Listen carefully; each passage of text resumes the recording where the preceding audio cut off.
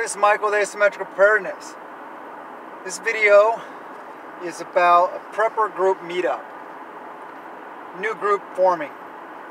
Um, it is called, well, just kind of in the meantime, it's being called South Sound Viking Network Group.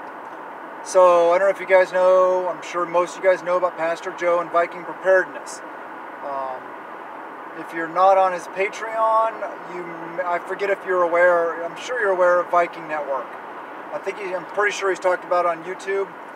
But uh, it's basically him not trying to control things, but trying to encourage people to form groups, form teams, mags, mutual assistance groups, tribes. He calls them crews. Uh, Viking networks getting together and forming what he calls crews. Um, groups, same thing. He just wants to encourage people to get together and have these groups, have people that you can rely on, have people that you can trust and work with. Like I've talked about a lot, you know, having things like this, a good group of people, is vital. Because if you don't, you know, being a lone wolf is not an option for me. Some people it may be, but so South Sound Viking Network, because there is a uh, Puget Sound Viking Network, but that's kind of North Sound. That's up north. And for those of us that live in the South Sound area or on this side of the Puget Sound, um, it's difficult with timing, almost impossible to uh, get to the meeting because the meetings are held on Sundays, and by the time church is over, come home, get you know change, get the kids rounded up, and then head out on, on the road for another for a two hour plus drive is difficult. So we're we're going to kind of do a little split off of that group, and it's just we're just going to use the Viking Network name just kind of as a as a general term. Have a get together.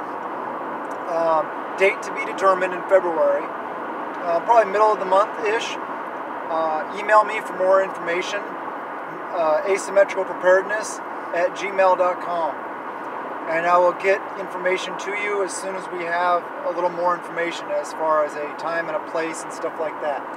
Um, and if you're in the area, if you're within driving distance of, say, um, I don't know, I don't know if it's going to be like the Shelton area or if it's going to be the Tacoma area. I'm not sure. Somewhere, probably Mason County area or Pierce County area. Uh, but anyway, so let me know what you think let me know how many people are interested. And we just basically want to, the first meeting is just going to be a, a get together, get to know people, uh, say hi to everybody, uh, know each other's names, uh, you know, start the dating process of vetting each other and stuff like that. So I encourage you guys, if you live in this area, to try to attend this meeting um, just so we can get together, meet each other, uh, and start the process. And even if you got to drive a little ways, you know, come because we can, you know, we can split again, just like this uh, um, group from the, you know, guys up north, starting down here south. Um, the, the idea is to get these groups started as, as all over the place, as many of these groups started in as many locations as possible. And if the, when the group grows, split. And then you know, form new groups until those grow, then split. You know, that's how anything grows, any kind of movement grows. Grassroots, real people in the meat world.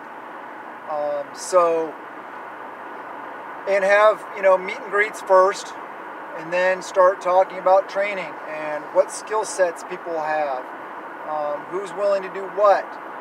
Um, start laying the groundwork. And, you know, this meeting may not be the group for you, but maybe you meet another person, or maybe because the, the distance you got to travel, or I don't know, whatever the reason is. But but say you you know so you don't come, so then you don't meet anybody. But if you come, even if it's a long longer distance for you, maybe you meet somebody else that also drove a longer distance from your area, and you could be like, oh hey, you're here, you know, and then oh yeah i heard about some one other person that lives down so they'd be interested also in this other person and then you would be like oh yeah i know one other person too and then you say okay well let's start this whole thing going in our area four people that's plenty to start Uh, that's that's plenty. Two or three. I mean, shoot, that's that's something to get started on at least. Um, but getting started, just like I talk about in working out, getting started is the big thing. So, yeah, I encourage you guys to come if you can. Um, and if you live up north, uh, like Seattle area and or north, email me, asymmetricalpreparedness at gmail.com, and I will give you contact information, put you in contact with those guys so you can get with them. Um, if, say, you have the availability to go to all the meetings in all the different areas of the state, great, go for it. But try to get with the people that are lo- most local to you. Let's spread this thing, let's grow this thing, let's uh, you know get this thing rolling. Let's get people into groups. Let's start helping people form groups. You know, it's one of the hardest things people deal with. So the more assistance we can give each other in forming these groups and getting these things going on and empowering each other and building each other up so that we're all better off in an SHTF scenario, then that's a good thing. The better all of us will be off. Because the, le- the, the fewer number of people out there that are desperate in an SHTF scenario, the better for all of us. Because it's less desperate people we're going to have to deal with. So let's empower each other. Let's get this going. So email me, comment below if you have any information or you you know just want to talk about it, um, or email me. Like I said, uh, I love you guys. Please subscribe, hit the like button, and uh, share the videos. Comment below. Blessings to you and yours.